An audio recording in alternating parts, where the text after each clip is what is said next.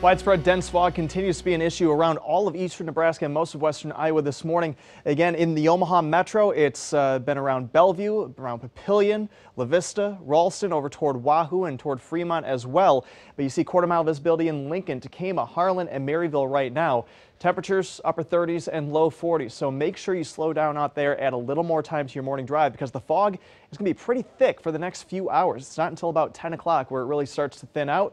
Clouds start to decrease around the middle of the day. A split in temperatures off to our west where the sun comes out a little bit earlier. We'll be in the mid 60s by noon, upper 50s in the metro and into western Iowa, so you'll want to keep that jacket or a sweatshirt with you through the middle of the day. Then this afternoon, south winds pick up. All that sun comes in here. And Look at the temperatures. Upper 60s in Iowa, low 70s in eastern Nebraska, mid 70s as you head farther to the west. And we're going to keep warming up. South southwest winds pick up even more this evening, blustery as some football playoffs start tonight, and it's going to be warm, temperatures in the upper 50s and low 60s. And then we keep those strong south southwest winds tomorrow. We'll probably have some high and mid-level clouds, kind of a filtered sunshine look. And football games tomorrow, starting off with temperatures in the upper 70s in the evening. Very warm for playoff football around here.